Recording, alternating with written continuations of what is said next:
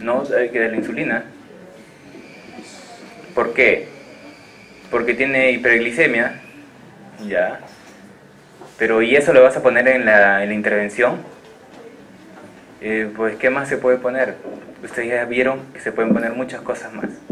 Yo podría sacar un artículo científico de una guía práctica clínica y poner en esa intervención cuántas unidades de insulina debería darle a ese paciente y cuál es el esquema de insulinoterapia que debería recibir. Según tal bibliografía, según tal artículo, según tal guía de práctica clínica, yo debería decir eso. ¿Cierto? Mi respuesta va a ser mucho más contundente y cuando el médico lea eso y vea, oye, si, si está bien, voy a cambiar. En cambio, si uno va con una hoja y le dice al médico darle insulinoterapia, ¿por qué? ¿Por qué lo voy a dar? Para eso sirve la búsqueda de información de medicamentos.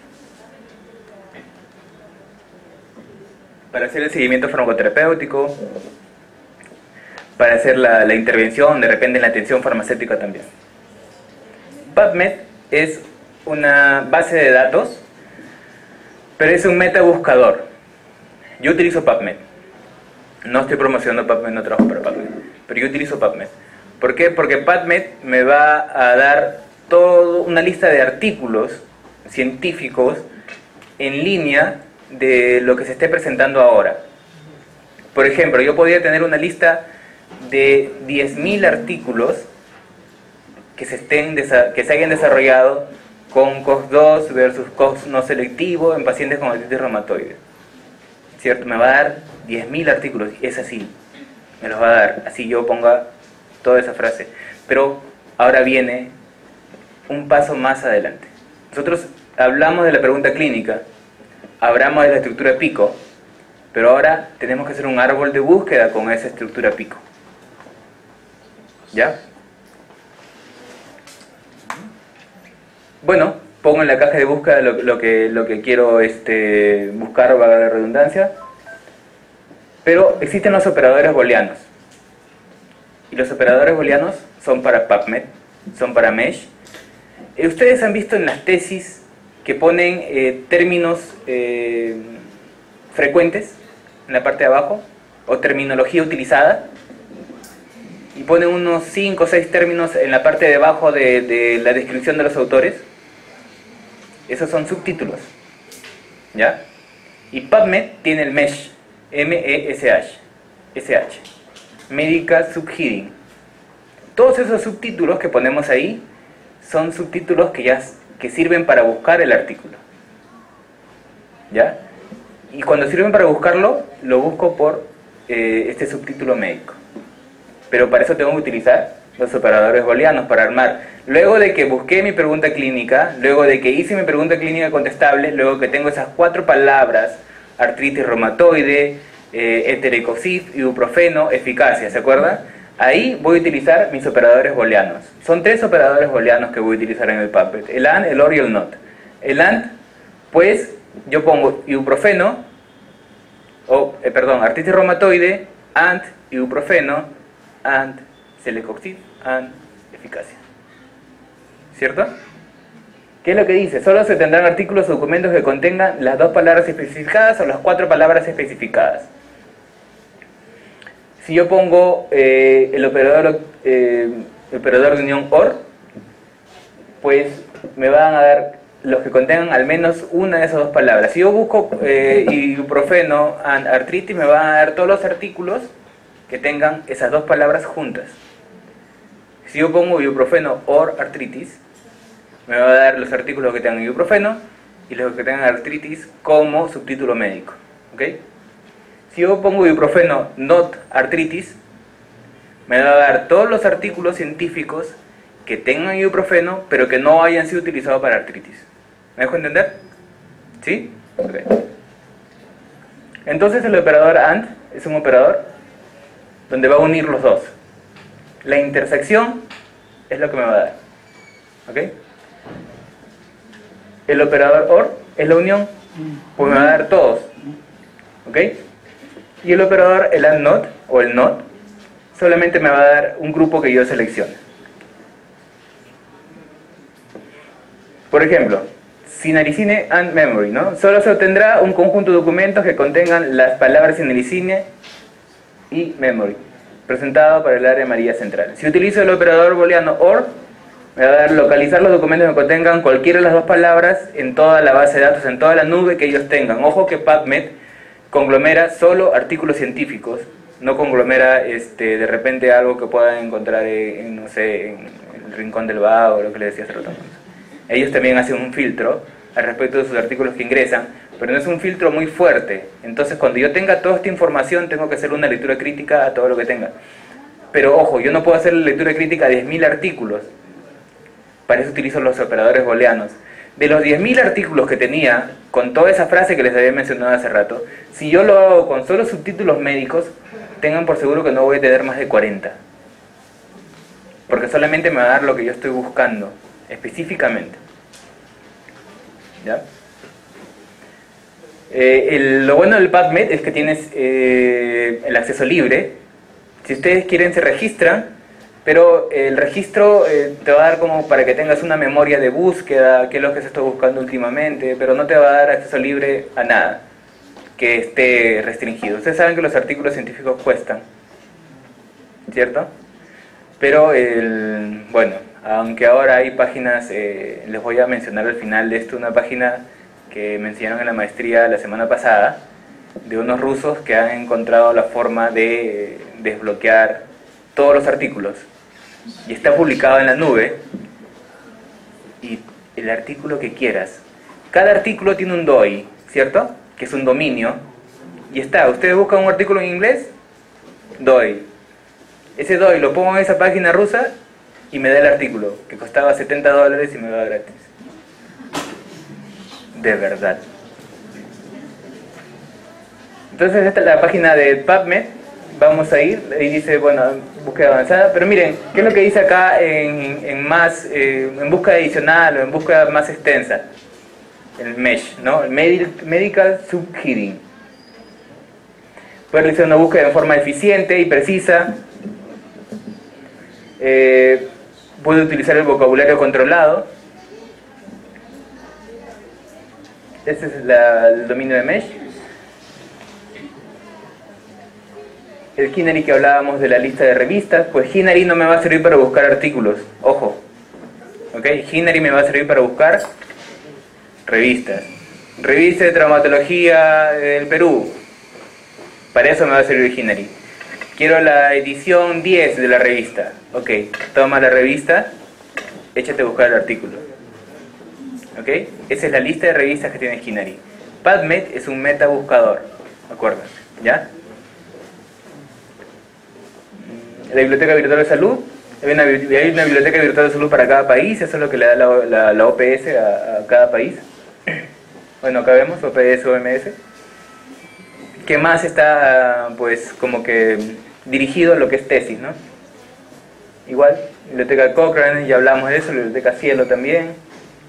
Biblioteca Cielo, que es un portal de evidencia, también, también me puede servir para buscar información, pero no es tanto así como un meta buscador, ¿no? Revisión sistemática, ensayos clínicos. Eh, ¿Cuándo debo utilizar Cochrane, por ejemplo? Cuando busco la efectividad del tratamiento con respecto a, pero no es muy fuerte la información. Puede tener a veces Cochrane búsquedas sistemáticas o revisiones sistemáticas o metaanálisis también. Eso no quiere decir que yo solamente debo buscar en PubMed o solamente debo buscar en Mesh. Cuando busquemos información científica utilicemos todos los recursos que tenemos para poder este, encontrarlo mejor. Yo les doy un secreto, o les doy una experiencia. Hay artículos que no he encontrado en ninguna base de datos libre. ¿Saben dónde lo he encontrado? En Google. Sí. Pongo en Google PDF y me lo dan. No sé cómo, pero Google lo tiene. Así es que no... Pero ya, pero ojo, ya tienen que haber hecho su pregunta clínica ya tienen que haber armado su árbol de búsqueda, ya, ya tienen que haber utilizado sus booleanos, también sus operadores booleanos, y ahí recién, con el artículo científico específico, se van a Google, le ponen el nombre del artículo y lo encuentran. A veces me ha pasado.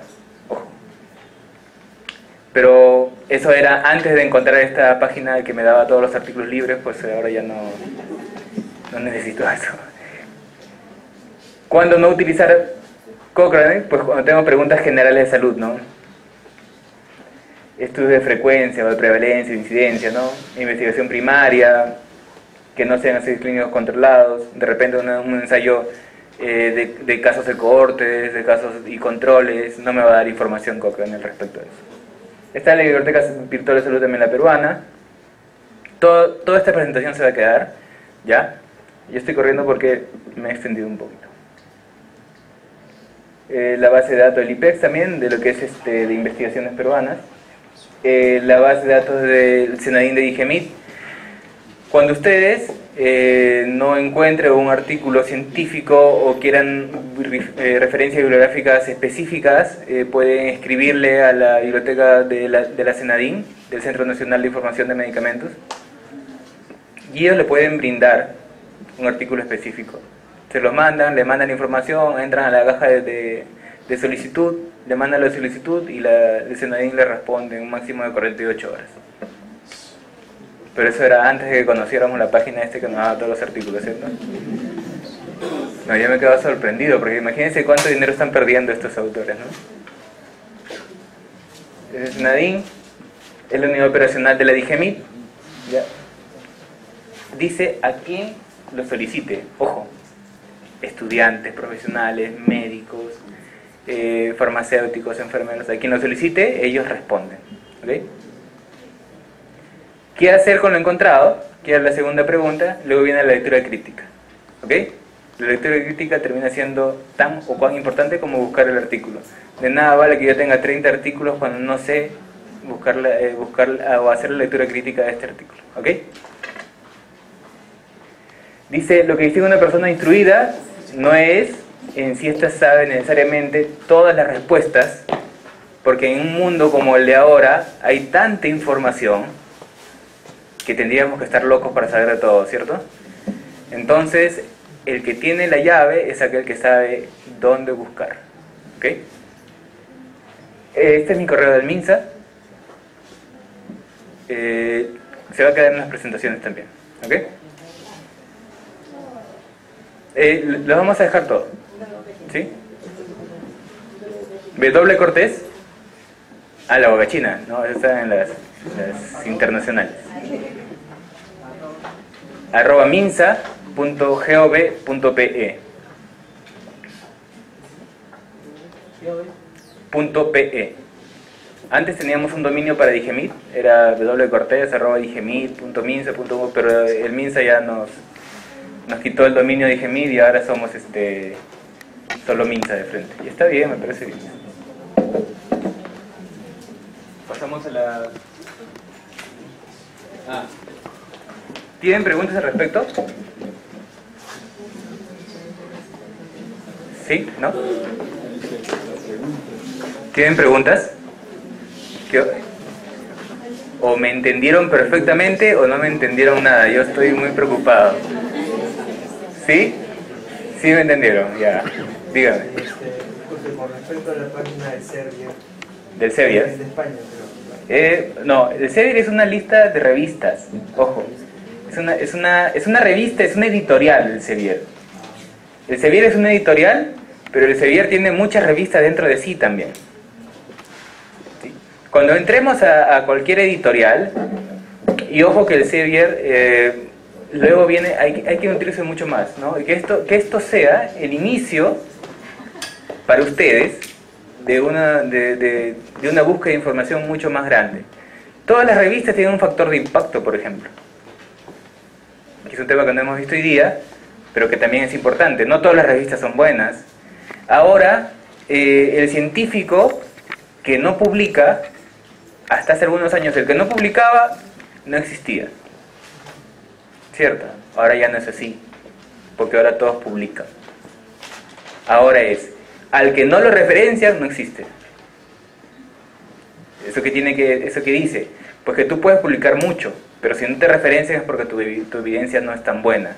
Entonces ahora tenemos que publicar, publicar correctamente. Yo les recomiendo a ustedes que son, que son quizás tesistas, que van a hacer una maestría, que van a hacer una especialidad, eh, instruyanse, estudien inglés, aprendan a escribir inglés, estén todo el tiempo escribiendo, todo el tiempo publicando, eso les va a servir muchísimo. Cualquiera que quiera postular una maestría en el extranjero tiene que haber publicado. y no publicado un artículo, no, no he publicado su tesis. No por ser farmacéutico no, no, no significa que no podamos publicar. ¿Ok? El PubMed, o sea, ahí se puede encontrar todo lo todo lo buscado, se puede encontrar todo ahí. Más amplio, ¿En más PubMed? Es un metabuscador, acuérdate, pero es un metabuscador de artículos científicos. ¿Sí? No es una base de datos. Para una base de datos necesito un micromedia. El micromedia me puede hablar de un medicamento, de una enfermedad específica. El up-to-date me puede brindar información de un medicamento o de una enfermedad específica.